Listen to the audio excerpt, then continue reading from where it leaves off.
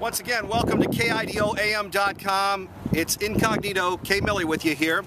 As we are broadcasting from Iraq, just outside of Camp Prosperity, um, in the old uh, green zone, now known as the International Zone. And one of the most interesting things that I wanted to share with you here at KIDOAM.com are the Crossed Swords Memorial. Now, these were built by Saddam Hussein to celebrate victory in the Iran-Iraq War. As we know, uh-oh, didn't happen too well for old Uncle Saddam.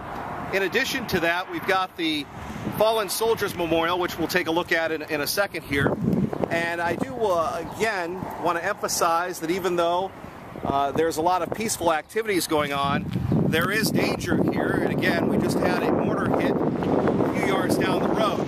The only reason why I say that, as we've been saying all the time every morning at 580 KIDO, is to emphasize the service and sacrifice of our friends, family, and neighbors of the 116th.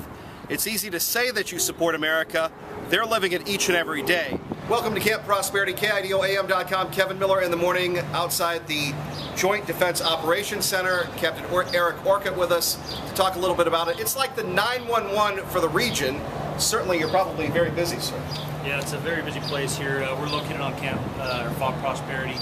Uh, like I said, the Joint Defense Operations Center is we're kind of responsible for uh, managing and, and reporting the everything that does or doesn't happen inside the international zone. Uh, as you know, the international zone was formerly called the Green Zone.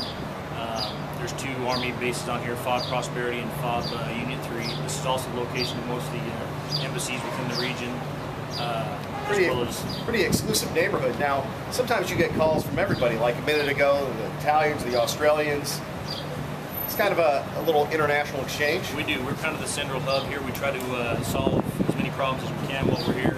Um, as far as uh, we're, we're, sort of a resource manager and try to try to coordinate with the Iraqi army and, and the government of Iraq in coordination with the Department of State and uh, the other entities that uh, are tenants here on the, in the international zone.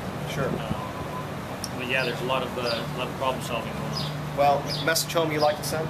Uh, looking forward to seeing everybody. I'm going on leave hopefully here in about a month, and uh, looking forward to seeing the boys and the wife, and, and uh, appreciate everybody's support. Look forward to seeing you all. Captain Orcutt, thank you. Thank you. Appreciate it. All right, appreciate it.